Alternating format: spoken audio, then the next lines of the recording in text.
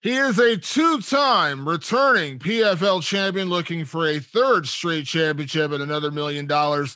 I'm here today with Lance Palmer. Lance, how is everything? Hopefully, quarantine is not being too rough on you right now. I'm doing good, man. I'm I'm taking it as it comes. obviously, this situation we have to adapt and um, adjust our game plan a little bit for the the last week and a half leading up to fight week. But um, we've been in here a little over seven days now and um, kind of business as usual. The, the first two days was the only days we had to quarantine inside the hotel room.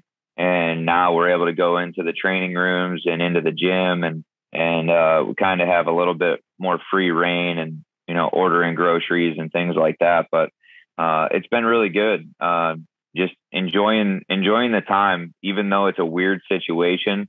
I always take the time to step back when I get closer to fights and just kind of enjoy this process because I don't want to fight forever. And I always want to be able to remember the, you know, each fight camp is different, each fight week is different. I like to be able to kind of calculate all the things that have happened during camp and and during the fight weeks and even this quarantine thing and kind of bring the positives out of it and keep a positive mindset going into the fight week. I know the hardest part of this, I imagine. I know I texted you with it when it happened, but obviously you welcomed your daughter into the world recently. Uh, how is uh, how is Dad Palmer treating you? It's awesome. it's crazy to have a uh, a little one at home, and um, you know everything's over FaceTime right now. But I saw her right before I left uh, last week, and um, they just grow so fast, and they do. You know, she's eight weeks old as of yesterday, and they just they're doing new things every day. Their um, personalities, um, you know, their their body, their facial features, like everything continues to grow every day. So it's even in pictures I can see it, and my wife notices it, and she's with her every day. So for me, it's kind of crazy. Like when I get home on the 24th, it's going to be you know seeing a whole different child compared to what I left with. So I'm excited. I'm excited for that part of it when I get home. But it's um, being a dad is is awesome. It's just uh, being able to enjoy being a dad will be cool once I get out of here. So now, Lance, obviously, we've talked several times, you know, over the past year when you've been kind of, you know, forced to sit out. I know you've done training, you've worked on businesses and done a lot of different things. But as you gear up for fight week right now, like how are you feeling uh, in terms of your body, in terms of your preparation? I know it's been a long time coming, but uh, you know, I know you took advantage of the time off as much as possible in terms of you know getting better, but also you know spending time with your family, working on businesses and things like that. But how is it feeling? You know, now at this point, you know, days away from a fight. It's awesome, man. I, I'm in a good spot. I'm I'm really, you know, everything is going as planned as far as camp goes. My body fe- feels great. My weight's on point. My weight's ahead of schedule for, um, you know, for next week already. So everything that uh, needed to be done during camp was able to be accomplished, and um, you know, it's it's not a honestly, it's it's business as usual when it comes down to it. I I feel really good, and over the last the last year or so of not being able to fight, I've been able to let my body heal from you know fighting. You know, I fought 11 fights within a two year and two month period. So I think letting my body heal up from all the training camps more than the actual fights was important and still doing training, but doing training on my terms of, you know, going out and getting a run in or getting a heavy lift in or you know lifting with my buddies back home and just enjoying my time and enjoying time with my wife and my dogs and enjoying the house that we've built together and just the the things that you know the things that you don't get to enjoy every single day when my my training camp isn't where I live. So I have to basically be gone from home all year long in 2018 and 2019 so obviously the negative part was not being able to have any fights and be able to provide uh, financially in that aspect of it. But um, the positives that came out of it were a lot greater than the negatives. Uh, you mentioned, of course, keeping things positive, and here I am going to ask you a negative question, but I have to do it, Lance, because I know, you know, the last year things did get a little ugly with the PFL. I know how you know things were going with, you know, the time off and the waiting to fight, and you weren't the only one, obviously, was frustrated by everything, but you're back. You're back in the season. You're defending your title. I mean, uh, I'll, I'll kind of put a positive spin on this. Would you say things are in a better place now as you're getting ready to return to PFL? Like, have you been able to kind of, you know, kind of settle things with them in a way as you're coming back now? Um, not as far as last year goes, but I'm in a positive place for this season and for, you know, what I'm trying to accomplish this year. Um, last year is something that's definitely unresolved, but that's not anything that I'm focused on right now. Um, focused on, you know, just getting through this first fight, getting the first fight out of the way, and and being back in action. But um, as far as everything goes, you know, in a negative way of it, I guess would be just when you when you're faced with those issues, and there was a lot that I learned uh, going through that process and a lot of things that could have been done differently. Um, it's just uh, you got to kind of take a step back and keep your distance sometimes because um, you know people aren't people aren't always looking out for you. They got to look out for their own family and themselves first. So that's kind of the the mindset that I've had to take on too. Is um, you know family, my family and myself come first in all these situations, whether it's business or personal. So that's probably the biggest positive that I've taken that I've taken out of that negative situation. But as far as like like bad blood, there's no bad blood at all. I just don't feel it's resolved in a way. But um, you know, I'm I'm cool with everybody. I was always I was always cool with Ray. Me and Ray have always had transparent conversations, even you know, every time we talked throughout the last year. There's never been a bad conversation. And um, but the thing is, is Ray actually fought. Ray was one of the toughest fighters in the world in K1.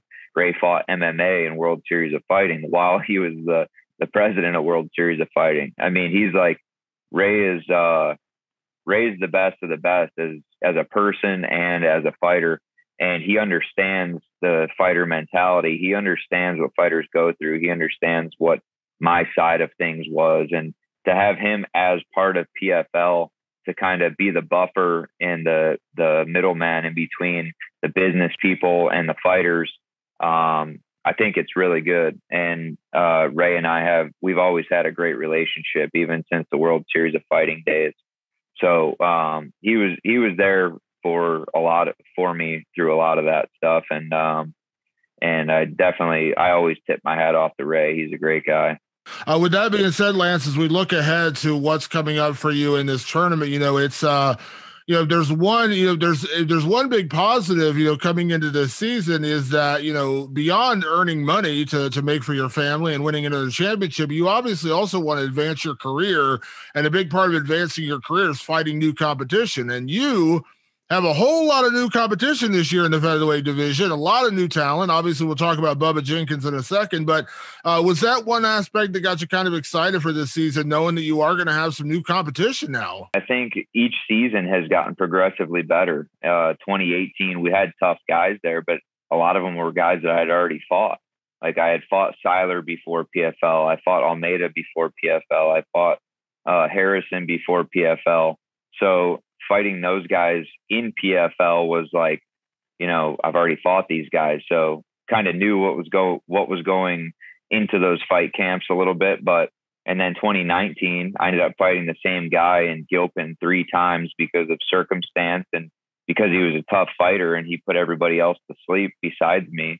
And so having a completely fresh slate of guys that I haven't fought is very refreshing. And I mean, besides me and Movlid, I don't think anyone else was in the 2019 season. So um, basically, eight, you know, eight new guys or seven new seven new competitors for me, uh, basically potentially. And um, yeah, it's definitely refreshing and it's it's nice. Uh, when I saw the matchups for this first card when it was getting announced, and I saw you were fighting Bubba Jenkins, I told somebody from PFL, I said, "Wow, they're not wasting any time getting right into the rivalry fights uh, because I know this one goes back to college days." Now, uh, to be fully disclosed here, I am currently sitting in Columbus, Ohio 15 minutes away from the Ohio State University. So I'm a little bit biased in terms of my uh, my Buckeye pride here in terms of this rivalry. But uh, were you happy to get Bubba right out of the gate and and knowing that you know there is a, I mean obviously we can't deny there's a bit of a rivalry here.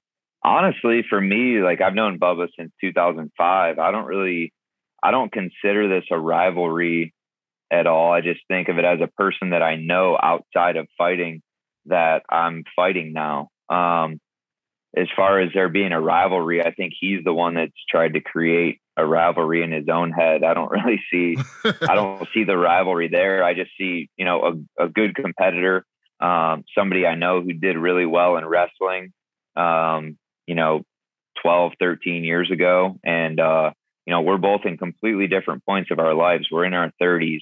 Uh, the last time we both competed in wrestling was over a decade ago, and um, we're both fighters now.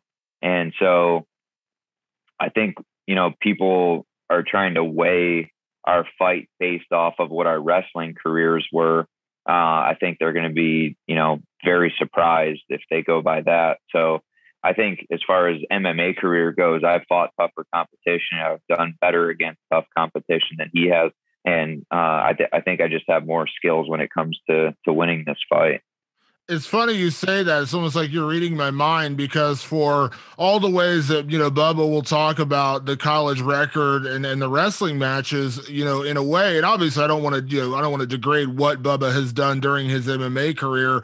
Uh, but mm-hmm. when you look at, you know, kind of how you've splintered apart, let's say, in terms of success, Bubba's had success, obviously, but he hasn't had those kind of high profile big wins as you. And he obviously has, you know, more, you know, kind of losses. Again, not digging the guys who have beaten him, but just, you know, again, not the same level of competition. You feel like that's the biggest difference in this fight is that, you know, yeah, you know, maybe he maybe he beat you in wrestling a couple times, you know, 15 years ago. But in terms of MMA, uh, you have actually, you know, kind of advanced your career pretty far. And, and obviously there's a reason why you're a pretty heavy favorite going into this fight. Yeah, and on top of that, I mean, if we go all the way back to wrestling each other, I mean, I did beat him in one of the matches that we competed in that year. And all the matches we competed in were in the same season, the 2008 season. And so it's like, I mean, I guess you can go back and say, yeah, in 2008, I beat this guy or that guy. But if we're going to go back to 2008, I beat Jordan Burroughs. So does that make me an Olympic champ? No.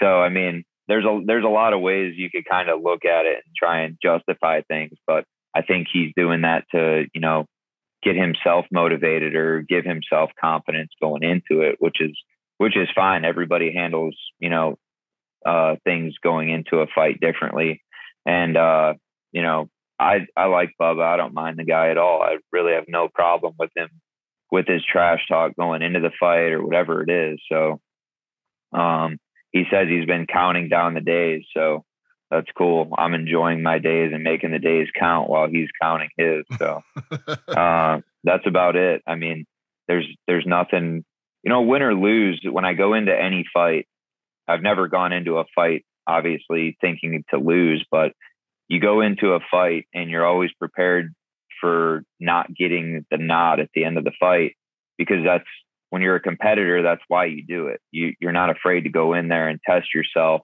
against guys who are tough, against you know high competition. You're you're going in there, and obviously you're confident enough to get the win, but you know that anything can happen. And the fear, you know, overcoming the fear of the what ifs when you go in the cage, and you know that's something that that I've always enjoyed about wrestling and fighting is there's no guarantee in anything, no matter how how much you think you can win or how much work you put in. It's like when you go into a fight, it's a 50-50 shot because anybody can get caught, anything can happen.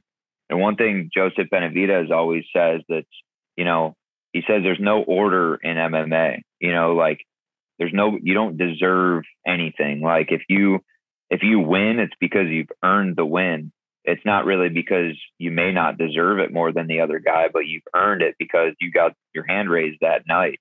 And it was kind of, you know, based off of him always, you know, not getting the the wins in the title fights and and having a championship belt around his waist.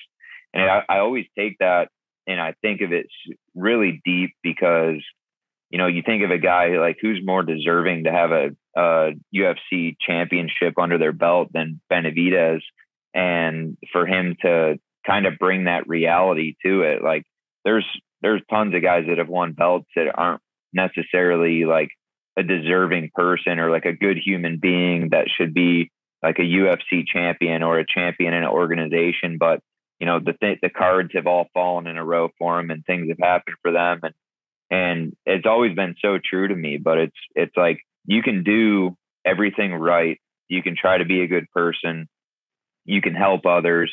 You can have a positive attitude. You can put all the training and everything and do everything 100% perfectly. And and it could just not be your night. But i know that i've done every single thing possible up to this point that if I bring my best on April 23rd, Bubba Jenkins will not get his hand raised. Yeah. To that point, uh, you know, when you look at the field, and, and obviously there's a chance you'll fight a lot of these guys throughout the season, but uh, when you look at the field right now, I think a lot of people, obviously you're number one, but a lot of people will say, you know, Bubba is, you know, one of the other top guys in this division. To get him right out of the gate, you kind of set the tone, right? Like you go out there and you beat Bubba Jenkins, you kind of set the tone for the season. Oh, 100%. It's cool. Just, I mean, one because he's the loudest out of everybody, so it kind of puts him puts him in a back seat for the rest of the season. And then, um, but as far as like competitors go, I think Movlid is probably uh, one of the tougher guys in the division overall. Else, and I think he's uh, skill wise and uh, you know fight wise, I think he's a a really interesting opponent. But as far as uh, you know, as far as it goes for right now, I'm just completely focused on Bubba. And um, you know, once April 23rd is over, then we get to look for the other guys. Yeah, we'll talk again this season, but I'm going to ask this question, kind of closing out, you know, with this you know, you've been a two-time champion. You you you've taken home the two million dollars in prizes, but uh, you know, being a three-time champion, I mean, that's something special. And when you think about what you have to go through to do it, you know, you kind of restart at the at the start of every year. You're not just handed anything. You have to go through another yeah. tournament.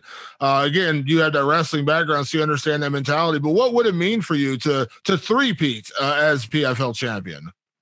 It would be awesome, and I always try to explain it in uh, obviously, since it's a season format, I'm not starting with a belt. The belts that I've won in the past in 2018 and 2019, those are always going to be my belts. And I earned those by winning that season. So I don't look at this season as defending anything. I look at it as I'm chasing the belt just like everyone else is. And a lot of people, a lot of these guys get it wrong. They're chasing me, but I'm not chasing any of them. I'm chasing a title. Whereas they think beating me wins them the title, but it may not. You know what I mean? There's a there's a lot of things that my mentality is just a little different. I'm chasing the third title and they're chasing me to a certain extent. I feel like a lot of people's focus is on me instead of focusing on themselves and trying to be the best in the season. So, um, you know, that's kind of how I think about it. And I think that's where a lot of these guys are getting it wrong. Yeah, no, that's a great mentality, and absolutely, it kind of keeps you in that challenger mindset where you're always grabbing for grabbing for the gold, so to speak. And uh, like mm-hmm. I said, you see that hunger, man. That that's a real deal, and you you never seem to lose sight of that in, in any of these past seasons. And uh, uh, I know you're not going in as the champion, but you are the guy to beat, Lance. I got to be honest, two times. You got you you you you know what it's like. You've been there and you've done that. No, I understand that mindset completely, and uh, and I love that you know that guys are you know it's it's kind of like a respect thing i feel you know they they have to respect me because i have won it twice and and um you know some of them may try and take a page out of my book and you know maybe you know try and follow the the format and things like that that i've done over the last couple of years and and and it's awesome because i feel like if they're doing that that then uh you know if they're trying to come after me, then they respect me enough to know that I'm the guy in the division. So I just have to go out there and prove it. Yeah, well, Lance, I'm looking forward to the season. It's so funny you mentioned your wrestling matches with Bub, and you said that, and I was like, "Oh my god! Like, how long have I been covering your career now?" Because I remember Dude, the wrestling. I remember the wrestling matches at Ohio State. I'm like, "Oh man, yeah. this goes yeah, back he, many I years." He, he beat me in a dual meet at OSU, and I don't know if that was 20 I don't know if that was 2007 or 2008, but it was during that season. And I was like, damn, how long ago what? And then when I thought about it, I was like, dude, that was 13 years ago. Like this guy's still stuck in the past. but I mean, like I said, everybody's got to pump themselves up a certain way for the fight. So it's, uh, you know, to each their own. Yeah, it's so bizarre when you say that. I was like, geez, man, that's forever. It just doesn't seem like it's that long ago. Like, I swear to I was like, I, I think about your wrestling career. I'm like, oh, yeah, it's a couple years ago. Like, oh, actually, maybe it wasn't a couple years ago. I guess it wasn't, you know, I guess it was longer. So, it's yeah. crazy, man. Once college was over, time just started flying by. Like, I feel like every year, we're already in April of 2021, and 2021 feels like it just started. So, it's it's crazy how fast life goes by. Yeah, absolutely. Well, Lance, uh, thank you as always for the time. Obviously, uh, you know, safe, uh, safe training these last couple days. Best of luck in the fight. I know we'll catch up again during the season, but thank you as always for taking the time. And I cannot wait for uh for PFL to kick off here next week. Awesome, man. Thanks again. I appreciate it.